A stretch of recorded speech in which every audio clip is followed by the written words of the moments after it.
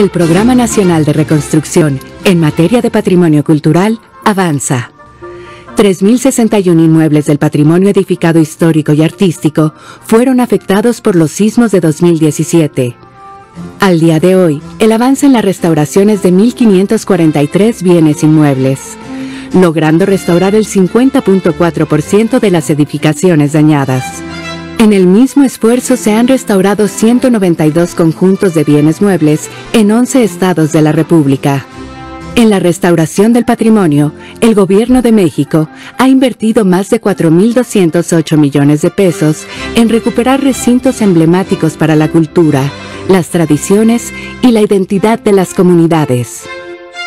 En Tlaxcala, por ejemplo, se restauró la parroquia de San Francisco Tepeyanco y la Basílica de la Santísima Virgen de Ocotlán, una de las joyas barrocas del siglo XVI más importantes del país. En Puebla se han entregado templos como los de Tochimozolco y Tecamachalco, construcciones religiosas de gran arraigo entre sus comunidades. En Morelos se rehabilitaron varias capillas en Cuernavaca, Miacatlán y Tlayacapan.